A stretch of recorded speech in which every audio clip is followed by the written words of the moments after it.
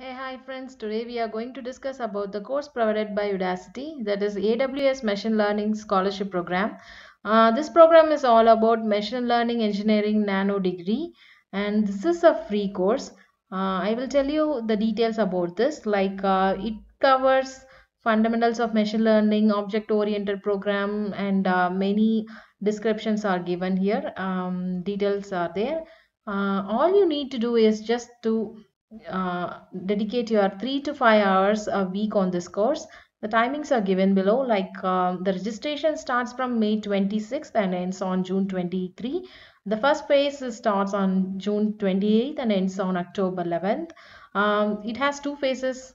Only uh, first phase one is open to everyone and after the completion of uh, phase one only 425 candidates. Only 425 seats are allowed to move to phase 2 and uh, the registration you can register at the top of this page register here uh, which I have already registered. So uh, I got something like this. I'll show you the details I have already filled like uh, background in information blah blah blah like this.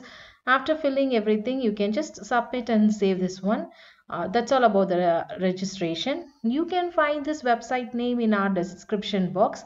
Okay guys so that's all about today we today's video. And uh, do like share and subscribe to our channel. Thank you